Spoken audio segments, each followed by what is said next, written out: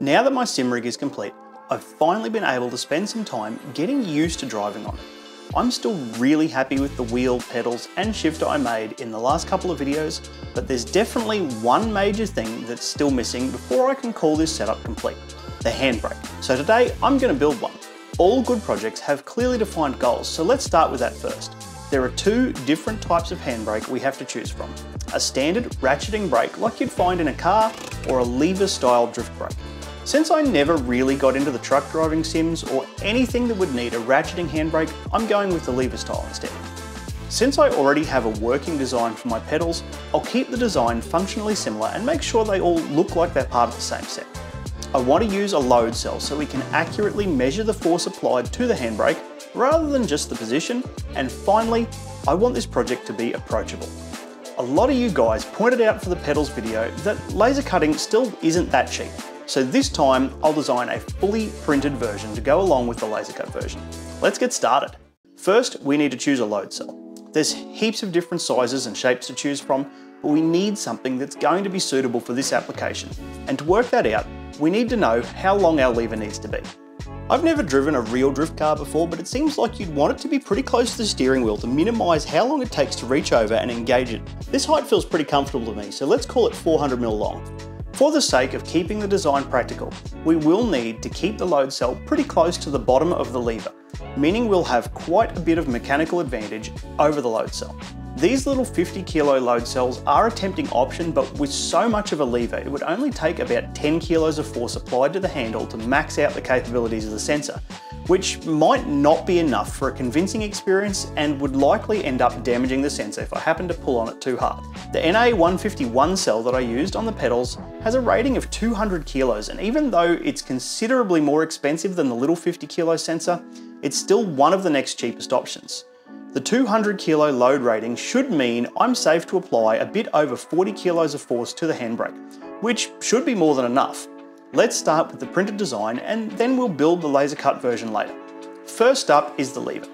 I don't think a fully printed 400mm long lever is a good idea, and it wouldn't fit on most printers in one piece anyway, so I'm going to split it up into two parts, a base and a handle, and then join them with a bit of 10mm steel rod. I'm printing both of these parts in PETG on the strength preset to ensure they are as strong as I can make them.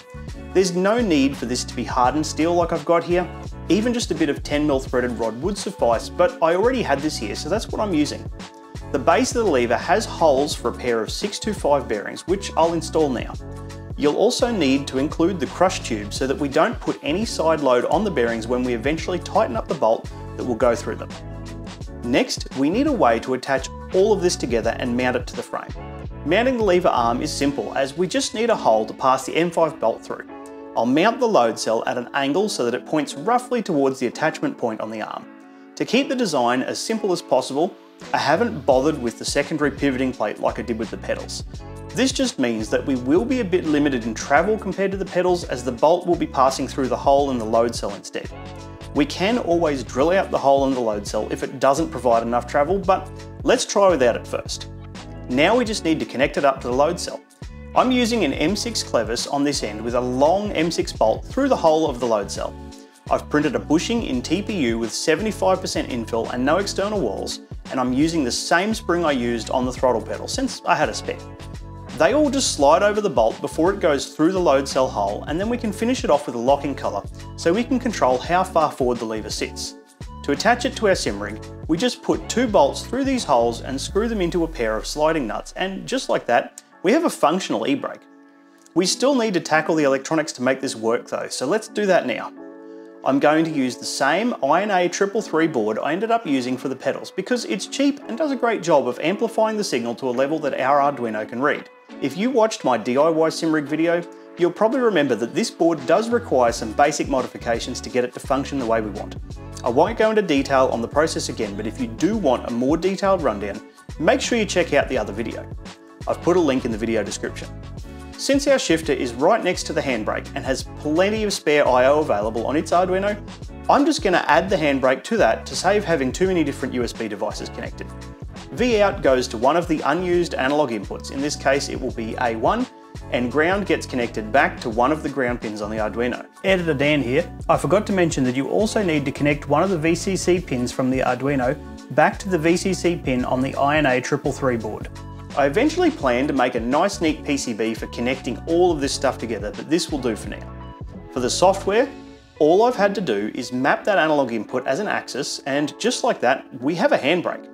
I'm sure some games won't support an analog input for a handbrake, so we can also just set a value in the software to trigger a button input so that it can still be used in those games. I'm pretty happy with the strength of the printed handbrake, but since I have access to a laser cutter, let's build an even stronger version with laser cut steel instead. If you want to build either of these projects yourself and you don't happen to have ready access to a fiber laser or a 3D printer, this video's sponsor can help. PCBWay provides 3D printing, PCB fabrication and assembly, sheet metal cutting and folding, as well as CNC machining services and even injection molding. Getting parts made is as simple as selecting a process, uploading a file, selecting a quantity, material and finish and hitting submit. I've had parts printed in clear resin, aluminium parts CNC machined then anodized, and they've even done some laser cut and powder coated parts for my sim rig, along with countless PCBs in the time I've been working with them. The quality of their work speaks for itself, so make sure you check out the link in the video description the next time you need their services. Now, let's get started on the laser cut version. I've kept the geometry the same as the printed version, so the length of the handle and the distance of the load cell to the mounting point is the same. First, I'll laser cut the lever out of 5mm steel. The laser wasn't cutting quite as well as it usually does, so this part just needed a bit more of a clean up than usual. It's still cleaned up nicely and with a combination of etch primer and gloss black paint, it's now looking the part.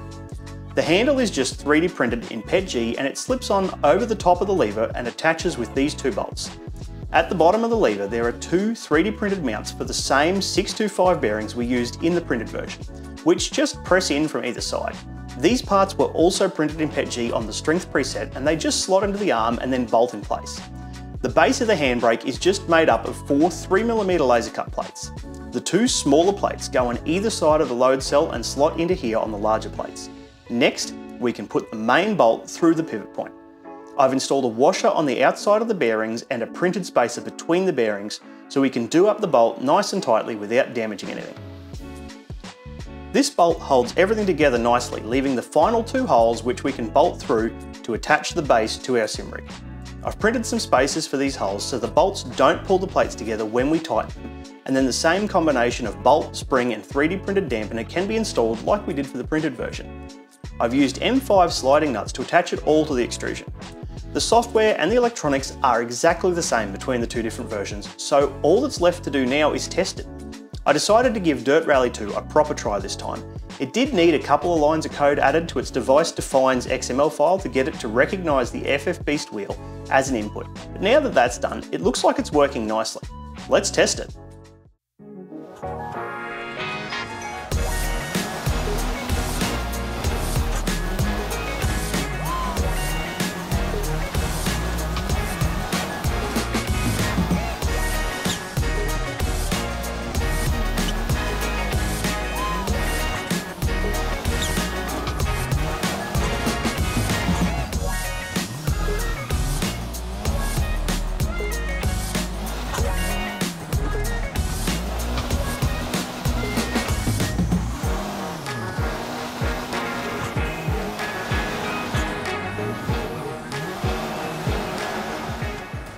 Well, one thing is for sure, much more practice is needed on my part to be any good at this.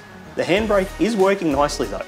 It's in a good spot and it feels pretty convincing to use, so I'd call that a win in my books. The spring does feel a little soft compared to the pedals because we have so much more leverage with this design, so I'll probably pick up a heavier spring to compensate for it. I've tried pulling on the brake as hard as I can manage with one hand and no amount of effort has caused any issues so far, so I think it should be pretty solid for a long time to come. Thanks for watching guys, let me know in the comments if you've got a related project or really anything you'd like to see me tackle. See you all next time.